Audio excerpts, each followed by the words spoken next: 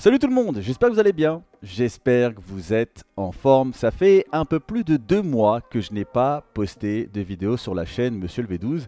Et cette vidéo aura pour vocation dans un premier temps bah, de vous donner les raisons qui m'ont poussé à mettre la chaîne Monsieur le V12 en stand-by. Et dans un deuxième temps, bah, c'est la rentrée et je vais vous annoncer de, plutôt de bonnes nouvelles euh, pour le mois de septembre. Car euh, croyez-moi, il y a de beaux projets qui arrivent et euh, voilà, je vais pas vous spoil, je vais vous garder ça pour la deuxième partie de vidéo. Pour la première partie de vidéo, je vais tout simplement vous donner les raisons qui m'ont poussé, on va dire, à m'éloigner un petit peu de YouTube, les raisons qui m'ont euh, contraint à pas trop vous donner de nouvelles. Alors contraindre, ce serait un terme peut-être un peu trop un peu trop fort, mais voilà, je voulais, euh, je voulais jouer carte sur table avec vous comme je le fais depuis plusieurs années. Euh, je ne vous ai jamais menti, je ne vous ai jamais, euh, on va dire, caché les choses et je compte pas commencer aujourd'hui. Première des choses, il faut savoir qu'à la suite de mon hack, vous le savez, ma chaîne a complètement été délette de YouTube. fort heureusement, on, a, on a réussi à, à, faire en sorte que, que ce soit pas irrémédiable et que YouTube remette ma chaîne en ligne remettre mes vidéos. Mais ça a eu une incidence assez, euh, on va dire, fatale pour la chaîne. C'est que bah, beaucoup, beaucoup de, choses dont vous n'êtes pas au courant et euh, dont je voulais parler avec vous, c'est que au niveau administratif, j'ai dû, euh, on va dire, fournir certains documents. Et, et c'est vrai que ça a mis du temps pour que la chaîne soit de nouveau, on va dire, opérationnelle à 100% ce qui a fait que bah, je voyais pas l'intérêt de faire des vidéos euh, qui seraient euh, pas du tout référencées. Voilà, j'ai pas envie de, bah, de produire du contenu qui ne serait pas référencé, qui ne serait pas mis en avant.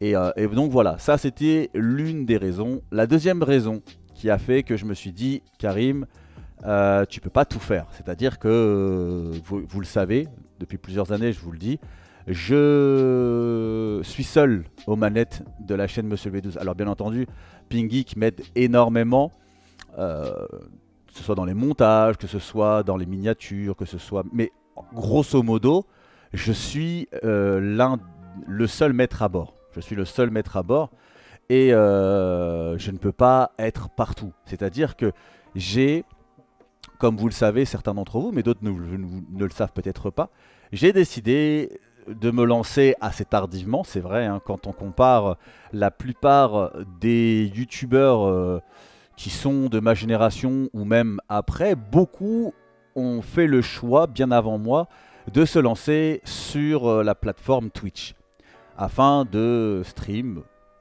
essentiellement euh, du Call of Duty. J'ai voulu tenté, enfin, je, j'ai tenté l'aventure euh, Twitch.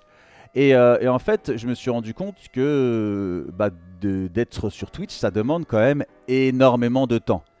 Je ne peux pas être à faire des streams et en même temps à faire les tournages, les montages des vidéos YouTube. Donc je me suis dit que j'allais pendant un certain temps, on va dire, concentrer toute mon énergie pour essayer de me créer une petite communauté euh, sur Twitch. Et euh, c'est aussi ce temps-là, je l'ai réservé aussi pour, on va dire, être très présent sur Twitch. Après, c'est vrai que quand on y réfléchit, je ne l'ai pas fait à la meilleure des périodes. C'est vrai que je l'ai fait juillet-août. Et c'est vrai que juillet-août, c'est un petit peu la période où tout le monde part en vacances. Donc euh, c'est vrai que stratégiquement parlant, c'était un petit peu stupide de ma part. Mais bref, je me suis dit, Karim, mise sur Twitch euh, pendant deux mois euh, et, voilà, vois ce que ça peut donner. Euh, ça n'a pas été qu'un échec dans, les, dans, le sens où, même si à l'heure actuelle je n'ai pas une très grosse communauté derrière moi, j'ai une communauté très fidèle, j'ai une communauté avec laquelle je passe énormément de bons moments.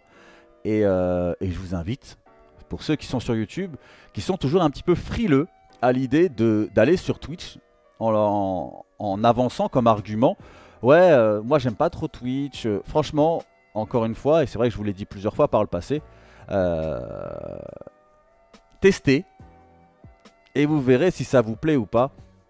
J'ai été comme vous pendant très longtemps réticent, dans mon cas de créateur de contenu, j'ai été très réticent à l'idée de vous faire euh, du contenu euh, sur Twitch parce que j'aimais YouTube, j'aimais euh, la possibilité de, faire un travail qui était plus quali parce qu'il faut quand même être relativement, relativement clair là-dessus. C'est vrai que quand on compare le travail de YouTubeur, si on prend le travail complet, ce que moi j'appelle travail complet, c'est-à-dire qu'on est à l'initiative de l'idée de la vidéo, le tournage de la vidéo, le montage de la vidéo, création de la miniature et mise en ligne de la vidéo, c'est un travail qui est conséquent. Alors que sur Twitch, on se pose, on allume la caméra, on allume le, PC et on, joue en direct. Et c'est vrai qu'on a plus seulement un travail d'animateur. Donc c'est vrai que c'est moins... Ça m'a toujours un petit peu refroidi, mais euh, j'ai passer le cap et je me suis dit essaye Twitch et tu verras si ça te plaît ou pas. Et c'est vrai que Twitch me plaît énormément, j'aime beaucoup cette proximité que j'ai avec mon public sur Twitch. Et encore une fois, je vous le dis, on n'est pas une très grosse communauté, mais maintenant ça fait, euh, ça fait un petit moment qu'on se retrouve euh, tous les soirs et que l'on passe des moments euh, vraiment, des vraiment de bons moments. Et, et, certains de ma communauté maintenant, ça fait limite partie d'une petite famille et tout, et j'adore ça. Donc, euh, donc voilà, l'idée, si j'ai mis la chaîne YouTube en stand-by, c'était euh, aussi pour ça. Troisième raison, euh, vous ne l'avez peut-être jamais vu parce qu'en fait, ce que vous voyez de moi, ça s'arrête, ça là en fait. et j'ai la chance, si on peut appeler ça une chance, j'ai la chance d'être assez épais de là-haut. C'est-à-dire que j'ai pris du poids ou que je suis fit, euh, j'ai toujours été assez... Euh, ouais, assez épais. On va dire ça assez épais. On va pas être prétentieux à dire qu'on était balèze, tout ça. Non, non. On va être, on va être humble, assez épais. On va dire, on va dire ça comme ça. Et, euh, et c'est vrai que vous, vous n'êtes pas rendu compte, mais les différents confinements ont littéralement dégradé mon physique. Vraiment, quand je vous dis dégradé, à l'heure actuelle, je suis euh, ça fait trois mois que j'ai entamé une transformation. Là, pour l'instant, vous voyez pas. J'ai fait exprès de mettre un, débardeur assez noir pour que vous puissiez pas trop voir la différence entre moi et le siège.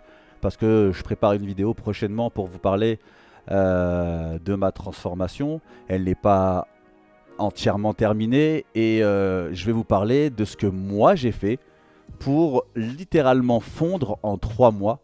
J'ai perdu entre 15 et 20 kilos en, en 3 mois.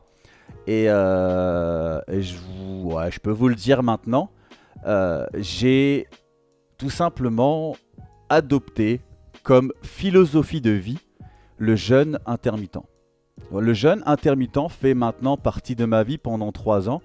Et pour être totalement transparent avec vous, je l'ai adopté comme, euh, comme façon de m'alimenter jusqu'à la fin de ma vie si vous ne connaissez pas le jeûne intermittent, si vous ne connaissez pas les bienfaits que peut avoir le jeûne intermittent, aussi bien pour une perte de poids que pour la santé, je vous invite à aller voir plein de vidéos sur YouTube. Si vous d'ailleurs vous faites le jeûne intermittent, n'hésitez pas à dire dans l'espace commentaire le poids que vous avez perdu pour prouver aux personnes qui seraient intéressées bah, qu'ils aient des témoignages. N'hésitez pas, voilà, ça, peut être aussi une, entraide qu'il peut y avoir entre nous, euh, et n'hésitez pas justement à donner euh, votre expérience, vos retours par rapport à cette expérience.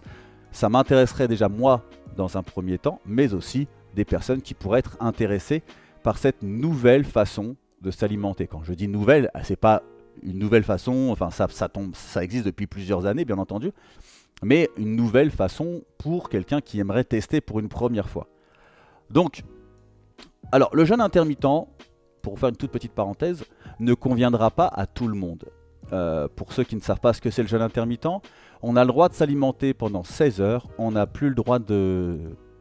c'est l'inverse. On a le droit de manger pendant... Moi, en tout cas, celui que je fais, il y en a plusieurs versions, mais la celle que je fais la plupart du temps, c'est 8 heures, j'ai le droit de manger. Pendant 16 heures, je m'abstiens de manger toutes calories. Je bois uniquement de l'eau, du thé vert ou du café sans sucre. Donc voilà, le jeûne intermittent, c'est ça. Et euh, alors, c'est bien plus complexe que ce que je viens de vous expliquer, mais ça, c'est pour les grandes lignes, pour que ceux qui ne connaissent pas le jeûne intermittent puissent justement euh, savoir de quoi je parle. Et, euh, et, en fait, le jeûne intermittent, couplé avec un exercice physique régulier, et moi, je m'entraîne la plupart du temps à jeun, ça m'a littéralement fait fondre. Et qui plus est, j'ai pas l'impression, j'ai dû perdre un petit peu de masse musculaire, mais voilà, ça m'empêche pas de faire euh, euh, des, exercices physiques assez intenses. Parce que c'est vrai que pour les deux premières semaines, on vous conseille en général, quand vous voulez entamer ce jeûne intermittent. Mais je ferai une vidéo bien plus détaillée, ne hein, vous inquiétez pas. Mais euh, c'était une petite parenthèse et j'ai pas envie de vous laisser dans l'inconnu. Vous dites, mais il a parlé de jeûne intermittent, qu'est-ce que ça veut dire? Je comprends pas. on vous conseille au début, quand vous commencez, de commencer par le 12 heures d'alimentation, 12 heures sans s'alimenter.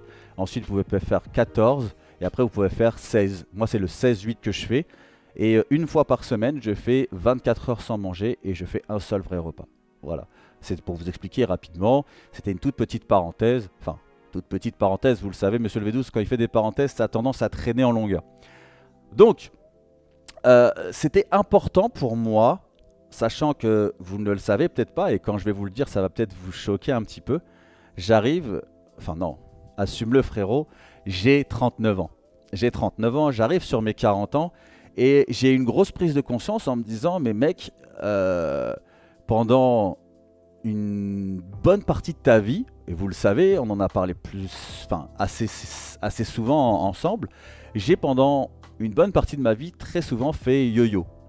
Euh, à un moment donné, vous me voyez vraiment bien. Après, vous me revoyez à nouveau, j'ai pris euh, grave du poids. Vous me revoyez à nouveau, je suis bien j'ai fait assez souvent ça euh, et, c'est vrai que je me suis dit, à un moment donné, tu arrives sur tes 40 ans, euh, c'est maintenant que tu dois te réveiller, c'est maintenant que tu dois reprendre le contrôle de ton corps et euh, c'était important pour moi de de nouveau me regarder dans une glace et me plaire et ne pas être écœuré du physique que j'avais, sachant que je sais éperdument ce qu'il faut faire pour être bien. Parce que comme vous le, savez peut-être, j'ai fait des études dans le sport, j'ai une licence euh, STAPS, et je sais ce qu'il faut faire, c'est juste que je n'avais pas la volonté de le faire.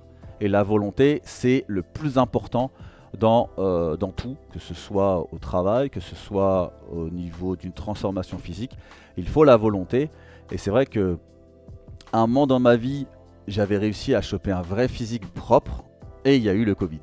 Alors, on peut donner euh, toutes les responsabilités au Covid. Vous le savez, euh, le nombre de fois où on vous a sorti Ouais, mais euh, à cause du Covid, les délais de livraison vont être plus nombreux. À cause du Covid, les personnes qui sont censées vous répondre au téléphone risquent d'être un peu plus longs.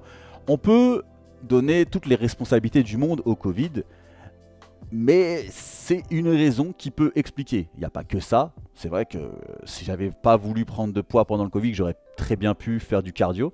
Euh, j'aurais très bien pu aller courir. Mais euh, c'est vrai que s'il y a un aspect qu'il ne faut pas négliger de, de, ce fameux Covid, c'est qu'il a eu aussi un impact au niveau de notre, euh, de notre mental et euh, c'est vrai que euh, j'en avais déjà parlé sur cette chaîne, mais moi, euh, le premier confinement m'a complètement a créé chez moi même limite des crises d'angoisse. J'en avais déjà parlé, que je faisais traiter à l'époque avec la CBD. Et, et du coup, c'est vrai que ça n'a pas aidé. Mais voilà, l'une aussi des raisons qui a fait que cette chaîne a été mise en stand-by, c'est que j'ai énormément consacré de temps à ma, pratique du sport. Et aujourd'hui, euh, je peux vous dire que je suis rentré dans un cadre de travail très sérieux. Donc voilà, ce n'était pas de gaieté de cœur que, que j'ai mis en stand-by cette, euh, chaîne YouTube. Euh, non pas que vous n'êtes pas important pour moi, loin de là. C'est, je l'ai toujours dit, je vous dois beaucoup. Même si, en définitive, je vous propose mon contenu gratuitement, que la seule contrepartie pour vous, c'est de regarder mes vidéos et de regarder, enfin, avoir des pubs qui passent sur mes vidéos. Mais en définitive, j'ai toujours euh, proposé mon travail pour vous divertir gratuitement. Mais c'est vrai que le fait que vous soyez resté fidèle, parce que là, pour le coup, je peux bien sûr dire que si les gens sont encore sur cette chaîne, c'est vraiment parce qu'ils me vouent une fidélité. Et euh, de toute façon, on le voit bien, les vues que euh, font les vidéos, et celle-ci, ça va être une catastrophe, soyons, j'en suis sûr, hein, quand je vous propose cette vidéo, en aucun cas, j'espère faire euh, énormément de vues là-dessus, loin de là, parce que l'algorithme de YouTube a encore changé, vous pouvez le voir sur, les vidéos de vos streamers ou youtubeurs préférés, bah, que les, les vues se sont un petit peu cassées la gueule.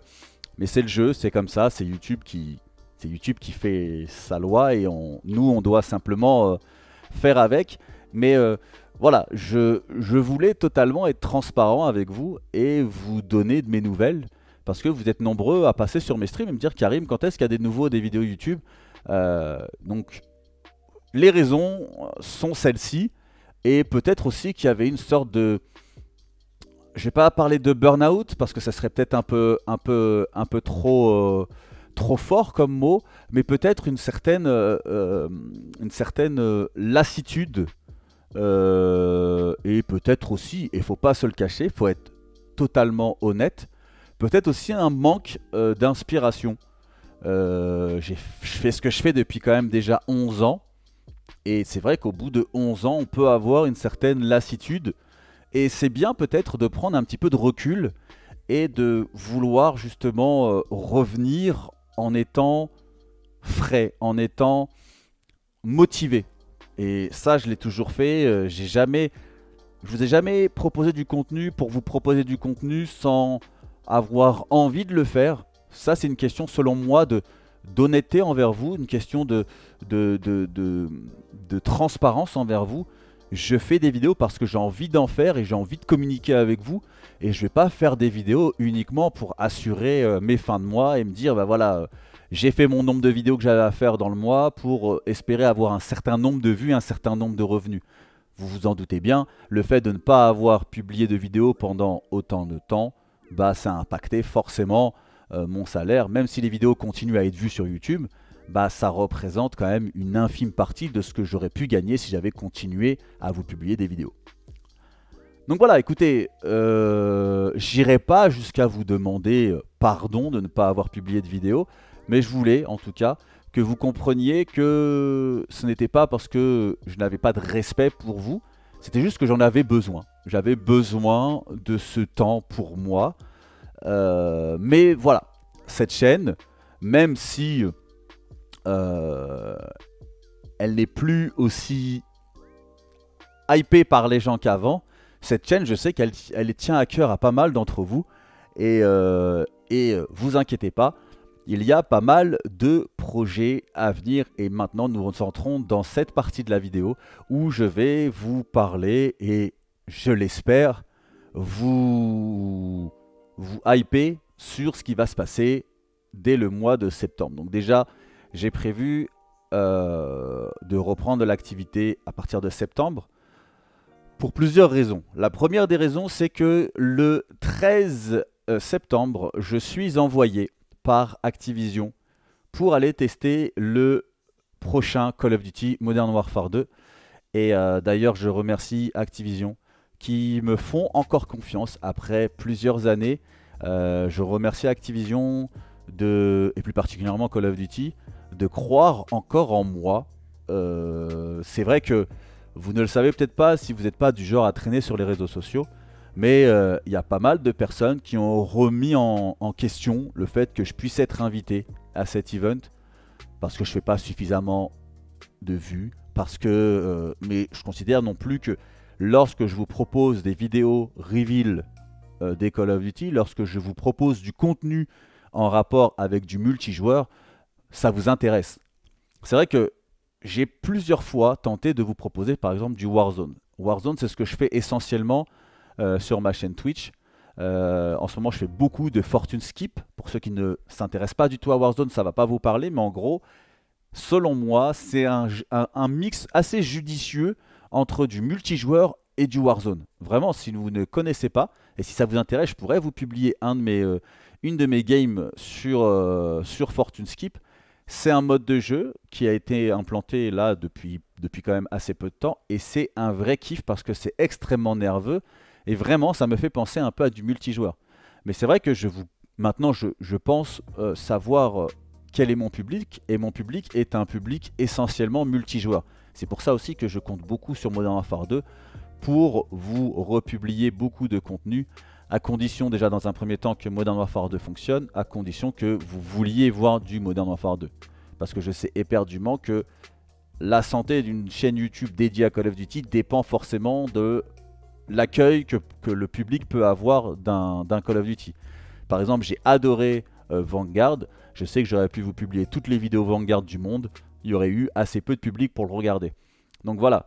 C'est vrai que Modern Warfare 2, euh, tout le monde en attend beaucoup, moi le premier. Et d'ailleurs, euh, la vidéo de demain, ça sera une vidéo sur mes attentes à propos de ce fameux Modern Warfare 2. Vous êtes nombreux d'ailleurs à m'avoir envoyé soit des messages sur les réseaux sociaux, soit des messages sur le chat de, mon, de ma chaîne Twitch, où vous me demandez, Karim, Qu'est-ce que tu attends de ce Modern Warfare 2 Est-ce que tu es hypé? Tout ça. Donc je vous répondrai ça. Enfin, je vous répondrai euh, sur, euh, sur la vidéo de demain qui va justement parler de mes attentes par rapport à Modern Warfare 2. Donc voilà, je suis envoyé le 13 septembre à Los Angeles pour tester euh, Modern Warfare 2. À cette occasion, j'ai la possibilité, et ça j'en parlerai dans une prochaine vidéo je pense, grâce ma communauté Twitch, j'ai la possibilité d'y rester jusqu'au 30 septembre. Et au 30 septembre, je suis du coup du 13 au 16 avec Activision, avec Call of Duty pour le reveal de Modern Warfare 2 et du 16 au 30, je suis donc à Los Angeles, Las Vegas, San Francisco. Et c'est là où vous devez vous douter, les retours enfin le retour des vlogs. Et ça, je sais que c'est quelque chose que vous adorez sur ma chaîne. Quand on regarde les vues des différents vlogs qu'il y a pu avoir sur ma chaîne, euh, je pense ne pas me tromper. Les vlogs, c'est quelque chose que vous adorez. Donc le retour des vlogs. Et si je dis que c'est grâce à ma communauté Twitch, euh, franchement, je ne vais pas vous en parler, mais je peux vous garantir que Franchement, j'ai une communauté Twitch incroyable. Bref. Donc, euh, je peux vous parler rapidement des projets que j'ai. Euh, on va aller visiter Alcatraz. Et ça, pour ceux qui s'intéressent un petit peu à Warzone et qui jouent un petit peu à Rebirth Island, on va faire un petit peu les similitudes avec, euh, avec la map Rebirth Island parce qu'elle est incroyablement bien modélisée. Et c'est vrai que quand on compare un petit peu les endroits, on reconnaît directement la map mais je voulais, voulais pas m'intéresser à Alcatraz uniquement pour ça. Alcatraz a une histoire et en fait la vidéo va, enfin le vlog va vachement être tourné aussi bien euh, sur cette similitude avec la map Rebirth Island où je vais intégrer des morceaux de gameplay et en même temps des plans euh, IRL pour que vous puissiez voir à quel point euh, les développeurs ont fait un travail énorme là-dessus, mais aussi vous parler un petit peu de l'histoire de cette prison et aussi vous expliquer, euh, enfin vous, voilà, vous, vous, raconter un petit peu, euh, on va dire, euh, la seule réelle invasion qui a eu lieu dans cette prison. Bref, je pense que cette vidéo risque d'intéresser un grand nombre d'entre vous. Ensuite, on va vous faire forcément un vlog pour vous faire découvrir la ville de San Francisco. La ville de San Francisco est assez atypique. Déjà de par sa structure, hein, vous, avez pu regarder énormément de films à San Francisco. Euh, c'est vrai que c'est une ville où il faut avoir des mollets assez balèzes et des jambes assez, euh, assez endurantes parce que c'est vrai que c'est une ville qui est assez, euh, assez en relief. Mais voilà, il y a aussi pas mal de choses à voir. Donc je vous montrerai tout ça. ensuite, on va aller, on retournera à Los Angeles. À Los Angeles, j'ai pas mal de vidéos euh, intéressantes. Je vais prendre mon petit... Ah oui, un truc que j'ai envie de euh, vous faire découvrir en vidéo, voilà, c'était ça. C'était euh, la dégustation du burger de Messi. Alors ça, vous vous dites, mais Karim, pourquoi? On peut pas être aux États-Unis sans faire une moins une vidéo sur un fast-food. C'est vrai que les États-Unis sont un petit peu réputés là-dessus.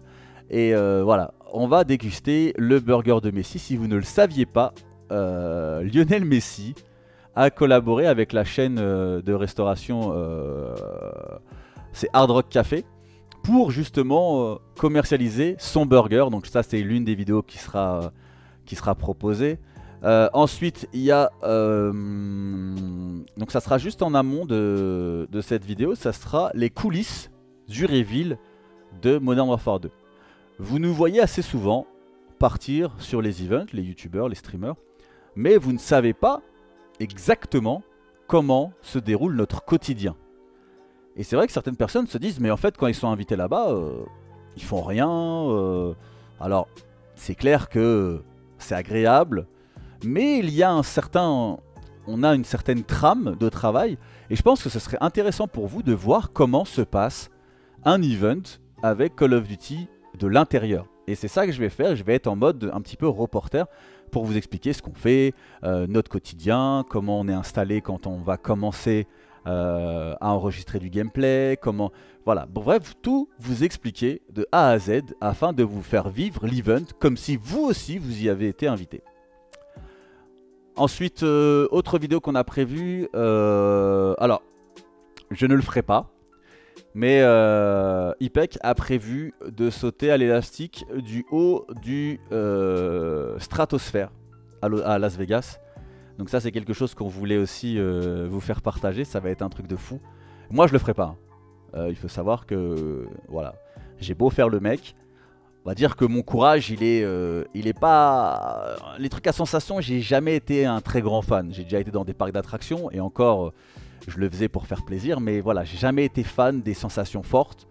Je vais laisser, le, le, comment dire, je vais laisser la, la, la priorité à IPEC euh, volontiers.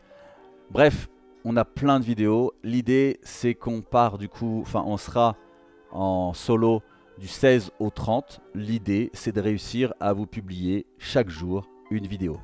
Parce que si j'ai un grand regret, parce que parfois, et plus encore quand il y a eu euh, les confinements, on avait besoin de s'évader. Et c'est vrai que des moments, je me rendais sur ma chaîne YouTube et je me suis dit, tiens, ça me ferait kiffer de regarder un vlog. Et en fait, je me suis rendu compte que sur toutes les fois où j'étais aux États-Unis, bah, en fait, le contenu que j'ai publié, certes, je le voulais tellement qualitatif que je me suis rendu compte que d'un point de vue, point de vue euh, quantitatif, il n'y avait pas énormément de vidéos. Cette fois-ci, j'ai décidé de faire beaucoup plus de vidéos, même si d'un point de vue quali, c'est un petit peu moindre, mais je préfère vous faire beaucoup plus de contenu et que vous puissiez me suivre mes aventures du début jusqu'à la fin. Et euh, dernière chose, et je clôturerai là-dessus, j'ai aussi prévu en fait de faire des streams en direct de San Francisco, Las Vegas et Los Angeles c'est-à-dire que sur ma chaîne Twitch, vous allez pouvoir suivre nos streams en direct. Et du coup, c'est ça, il y aura plus seulement des vlogs, mais il y aura aussi des streams. Il nous reste à savoir comment on va régler le souci euh, de la connexion data qui va, à mon avis, nous coûter euh, un gros billet. Parce que streamer demande beaucoup en data. Et c'est vrai que si on veut streamer pendant toute cette période, ça va nous demander quand même euh, pas mal de ressources. Mais bon, on, trouvera comment s'organiser au moment opportun. Donc voilà, la vidéo, euh, la vidéo fait quand même pas mal 30 minutes. Et euh, pour vous dire la vérité, j'ai l'impression d'avoir été à l'essentiel. Donc je sais pas si, si je vais faire un montage histoire de la réduire un petit peu. Mais, en tout cas, voilà, je voulais vous annoncer que j'étais de retour, que c'était aussi la rentrée pour moi. Et, et voilà, j'espère que on va euh, vivre de bons moments sur cette euh, période de septembre. Je pense que ça va être le cas. Parce que ça fait très longtemps que je ne vous ai pas proposé des vlogs. Et je pense que comme énormément de personnes sur ma chaîne Twitch qui l'ont manifesté de la plus belle des manières, euh, je pense que vous aimez les vlogs aux États-Unis. Et, et, voilà, dernière chose aussi, excusez-moi, c'est quelque chose qui me tient à cœur. Je vous ai toujours montré les très beaux côtés de Los Angeles. Euh, cette fois-ci, je réserverai une seule vidéo pour vous montrer un peu les dessous de Los Angeles. Parce qu'il faut savoir que Los Angeles, euh, il y a énormément de sans-abri, il y a énormément de pauvreté. Et c'est vrai que la plupart des streamers, des youtubeurs qui sont amenés à vous faire des vlogs, qui sont là-bas, bah, euh, ont envie de vous faire rêver. Et c'est tout à leur honneur. L'idée, c'est de vous faire sortir de votre quotidien Et c'est vrai que vous montrez un peu les dessous de Los Angeles, ça peut euh, créer une sorte de bad mood. Euh, vous avez, je vais pas dire que vous n'avez pas envie de voir ça, mais c'est vrai que on préfère vous créer une émotion positive quand on vous montre du contenu, euh, plutôt que de vous montrer, enfin vous créer une, émotion négative et vous, enfin voilà, vous mettre, comme j'ai dit, dans un bad mood.